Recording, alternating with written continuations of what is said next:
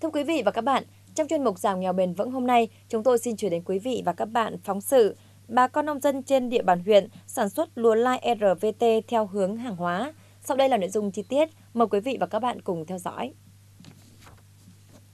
Thưa quý vị và các bạn, thực hiện đề án tái cơ cấu ngành nông nghiệp theo hướng nâng cao giá trị gia tăng và phát triển bền vững, ngành nông nghiệp huyện Chư Sút đã chủ động trong công tác khuyến cáo bà con nông dân chuyển dịch mùa vụ, cơ cấu giống lúa phù hợp với từng vùng.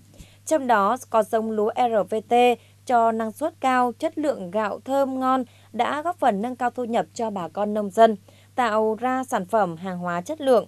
Sau đây là ghi nhận của phóng viên thời sự. Theo Phòng Nông nghiệp và Phát triển Nông thôn huyện Chư Sút, mỗi năm toàn huyện đưa vào sản xuất trên 4.000 hecta lúa nước, năng suất bình quân 6,5 tấn trên 1 hecta. Để cây lúa nước mang lại hiệu quả kinh tế cao, ngành nông nghiệp huyện đã hỗ trợ giống và trình diễn khảo nghiệm mô hình lúa RVT trên diện tích 100 hecta tại xã Đắc Rồng. Qua thực tế sản xuất cho thấy giống lúa RVT có chiều cao cây từ 100 đến 110 cm, thời gian sinh trưởng khoảng 118 ngày, sinh trưởng phát triển tốt để nhánh mạnh hơn các loại giống lúa khác. Cây cứng, hạt màu vàng sáng, dài và nhỏ hơn so với các giống lúa khác. Đặc biệt, giống RVT không bị nhiễm đạo ôn, chất lượng gạo RVT ngon, thơm, cơm dẻo. Ngoài ra, giống lúa này có khả năng chống chịu mức độ nhiễm phèn, nhiễm mặn rất phù hợp với đặc điểm thổ nhưỡng của địa phương. Ờ, qua cái ờ, buổi hội thảo này đấy thì ờ, cái giống RVT này thì tôi thấy cũng được, nó đạt năng suất đẹp đó. Ừ bà con uh, nông dân rất uh, phấn khởi bởi vì uh, nó vừa được giá. Nó có những cái ưu điểm nổi trội nhất như thế nào thưa anh? Nó nổi trội là cái giống này nó ăn nó ngon, nó dẻo, à, cũng đạt năng suất.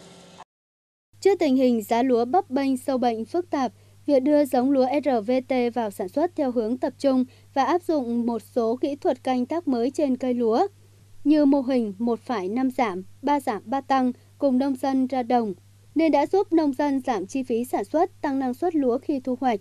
Bên cạnh việc hỗ trợ kỹ thuật, huyện Chưa Rút cũng phối hợp với các công ty đảm bảo tiêu thụ sản phẩm với giá cao hơn thị trường từ 2.000 đến 4.000 đồng trên 1 kg, nên sau khi trừ chi phí, bình quân mỗi xào lúa RVT cho lãi ròng trên 2,5 triệu đồng. Lãi suất cao cùng với giá bán ổn định đã giúp bà con nông dân tăng thu nhập. Là bà con này thì à, cũng thấy cái giống này là nó tốt hơn mọi à, thứ giống khác. Chứ còn nó vừa chịu hạn vừa chịu số bệnh, kháng thuốc kháng đấy là bây giờ là cái nông dân mà chưa có cái kinh nghiệm ấy thì nói chung là bà con làm thì cứ à, mỗi lần hội thảo là có một cái cái cái gọi là cái, cái kỹ thuật kia là, là nó đỡ nhiều hơn. Từ hồi xưa nó làm gọi là làm thủ công như trước thì nó không tốt bằng giống này. Giống này ăn vừa ngon vừa dẻo, nó nó kháng bệnh nhiều.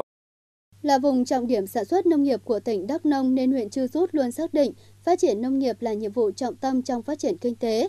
Để phát triển bền vững cây lúa, huyện Chư Rút đang có chủ trương mở rộng diện tích sản xuất giống lúa RVT và quy hoạch lại vùng chuyên canh sản xuất, trong đó có vùng sản xuất lúa năng suất cao theo hướng hạ giá thành sản xuất, tăng thu nhập và lợi nhuận cho người trồng lúa.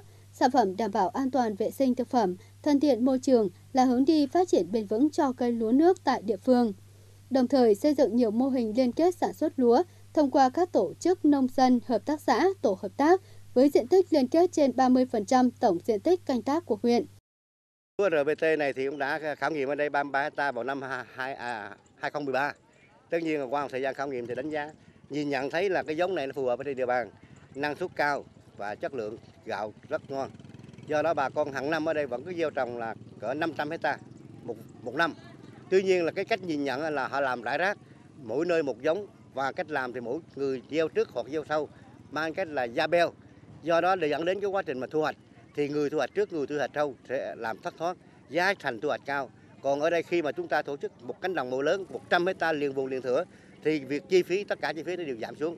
Một là thu hoạch cũng giảm, giá máy gặt nó cũng cũng giảm và gieo xạ đồng loạt, lấy nước đồng loạt và tinh thần nữa là, là chúng ta nếu có điều kiện mà mua bán thương phẩm thì cũng có người đứng ra một công ty thông qua hợp tác xã Bắc Hà sẽ tổ chức thu mua bán cho giúp cho bà con với số lượng lớn giá thành cao hơn.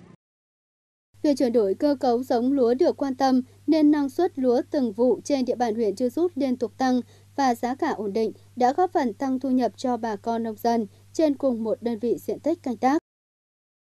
Chuyên mục giảm nghèo bền vững hôm nay xin tạm dừng tại đây. Cảm ơn sự quan tâm theo dõi của quý vị và các bạn.